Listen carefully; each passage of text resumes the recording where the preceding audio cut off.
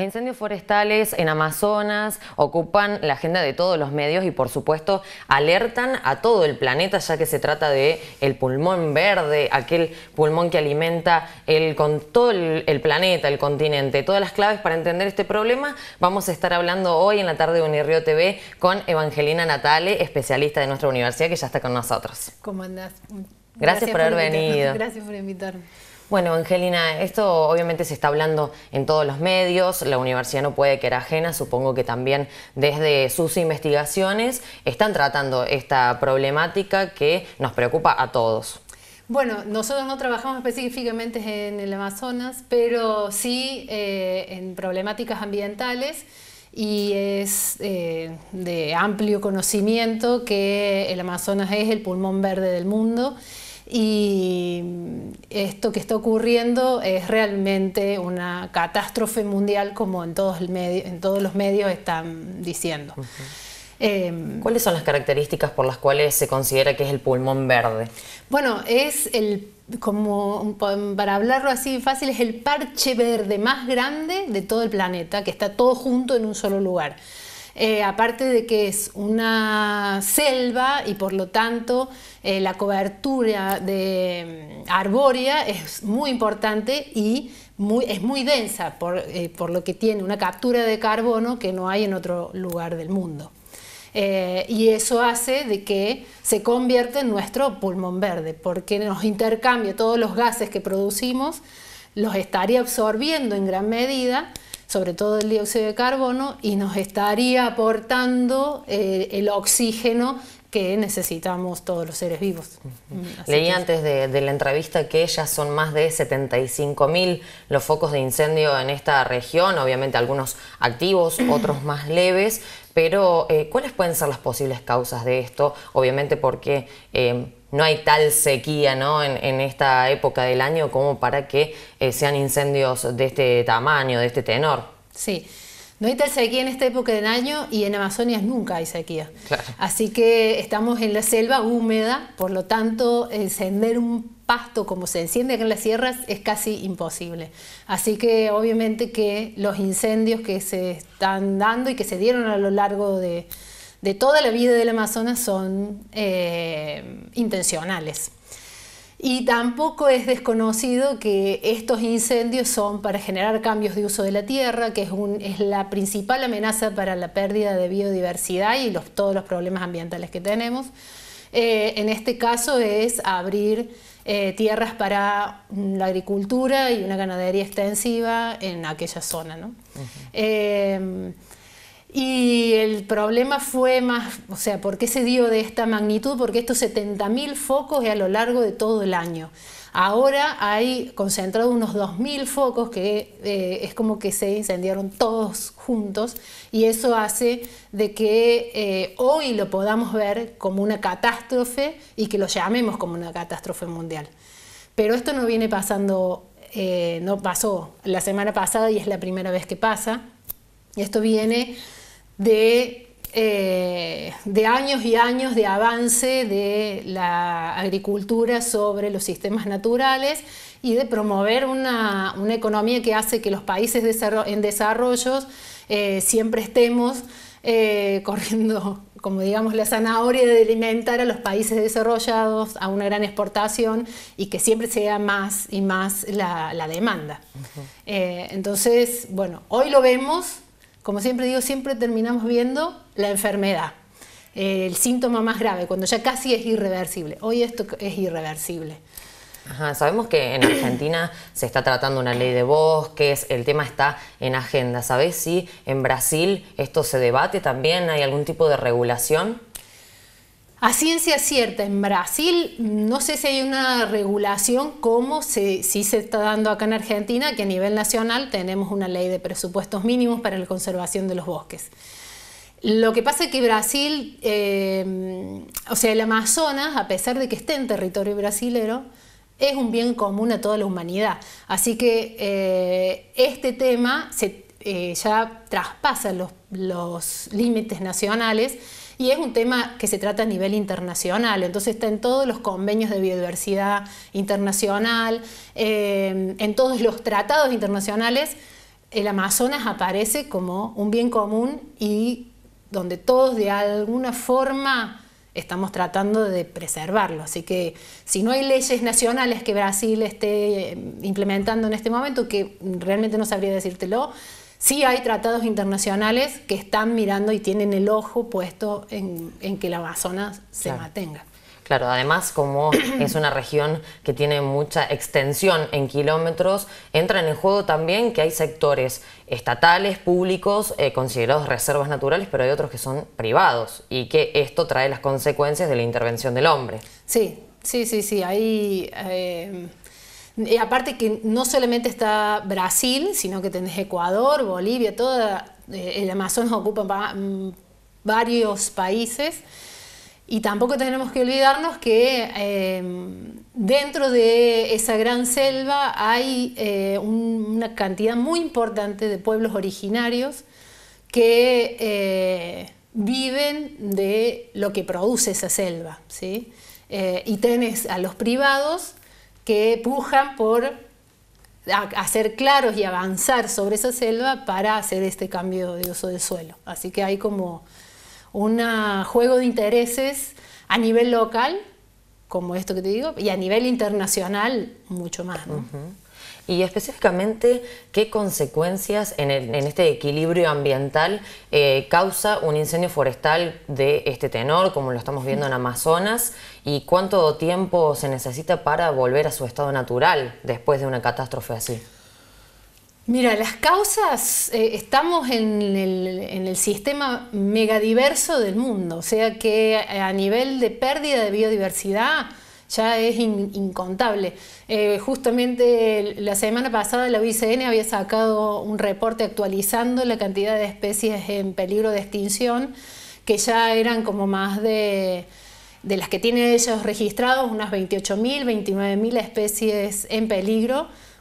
Después de esto esas eh, actualizaciones ya quedan desactualizadas porque justamente estamos tocando el sistema eh, más importante en cuanto a cantidad de biodiversidad.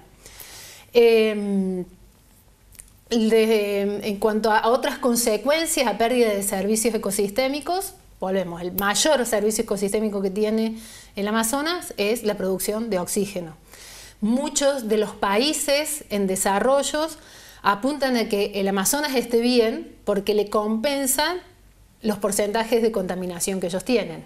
Así que también tiene consecuencias a nivel ambiente, por pensar en el ambiente saludable, en el ambiente que vivimos y a nivel político también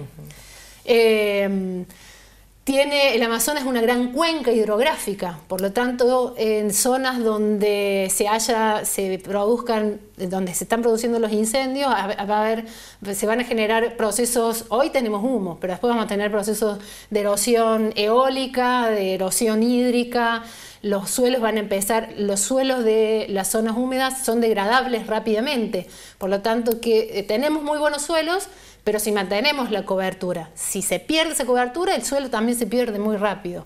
Entonces pasan a ser infértiles.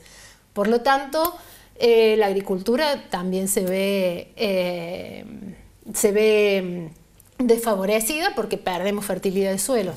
O sea, desde todos los lados que uno lo vea. Son muchos los, puntos que mencionas que son tan importantes para defender que se tenga que cuidar esta región. Sin embargo, pareciera que hay una falta de conciencia porque tenemos que llegar al punto de em, que los brasileños eh, estén invadidos por el humo para que puedan ver esa problemática o que nosotros a nivel mundial estemos viendo imágenes que nos envían desde la NASA eh, espaciales, digamos, para ver el impacto realmente de ver Brasil prendido fuego, ¿no? Eh, hay una falta de conciencia sobre el cuidado del ambiente?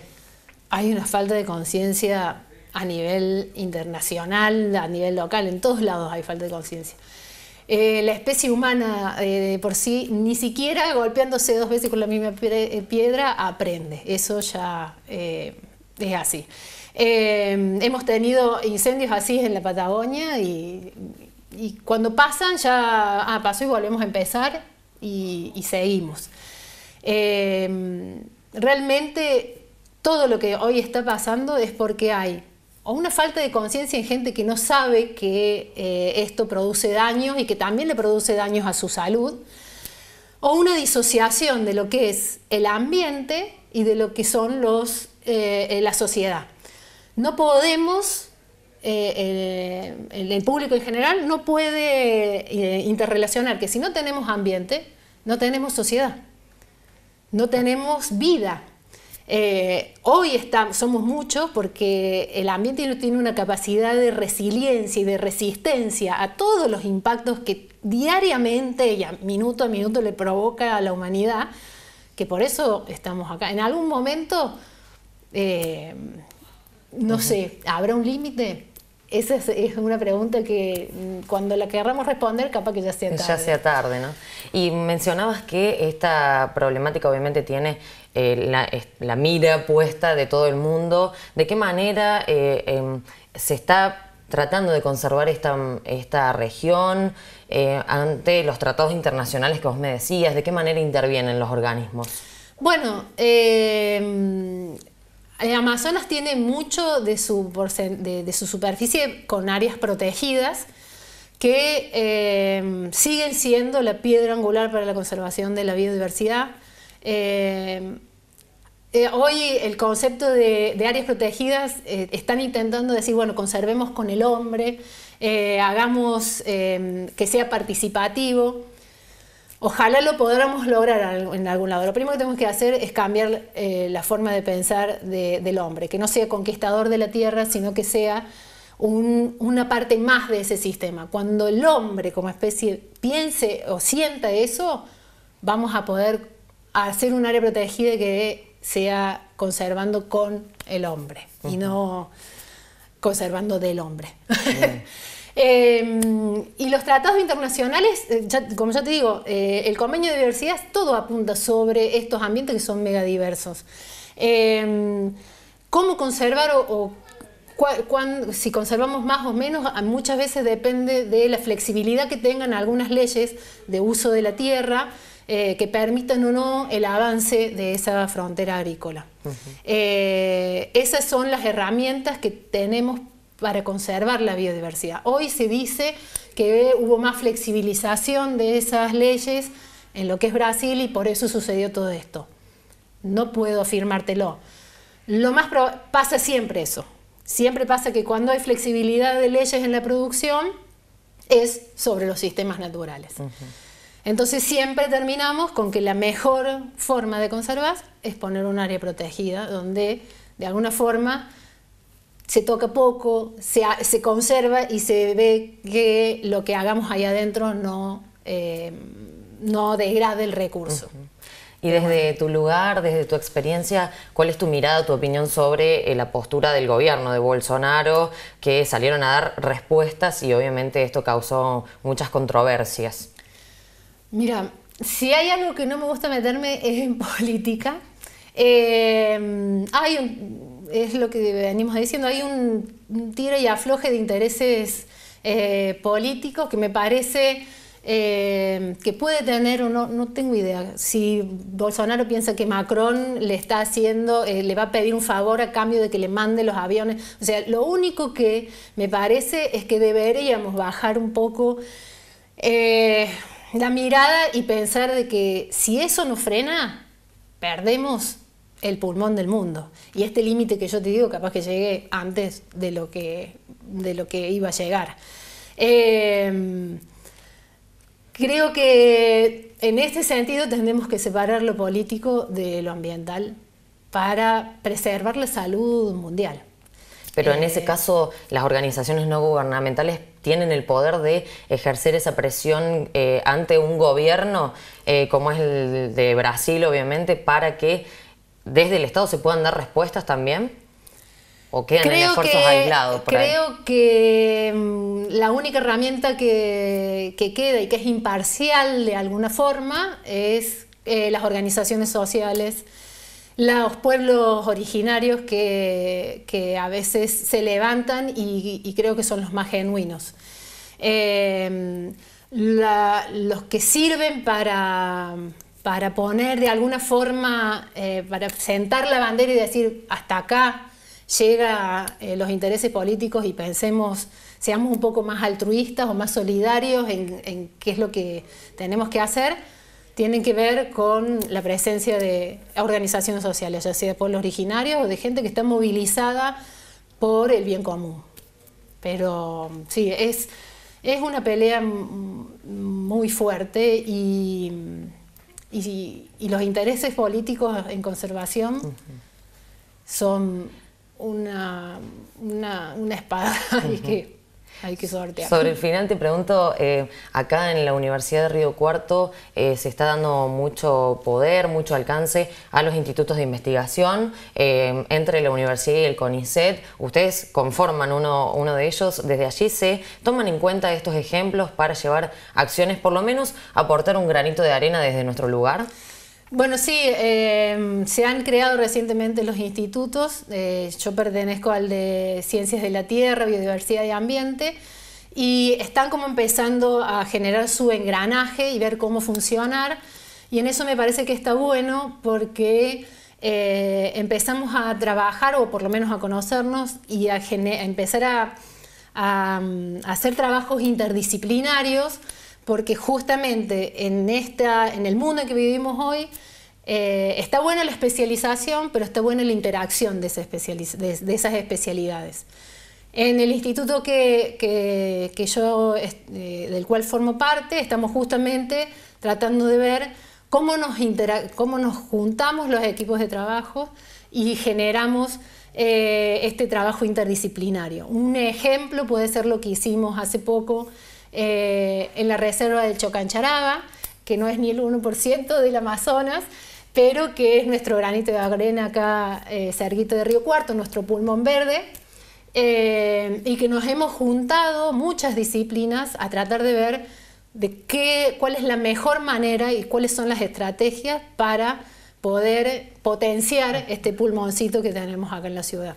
Así que sí, de alguna forma eh, estamos tratando de cambiar esto de empezar a generar información de síntesis que permita solucionar problemas. Bueno, bien ahí, eso tiene que seguir adelante. Gracias por haber venido y por tu aporte. Gracias a vos.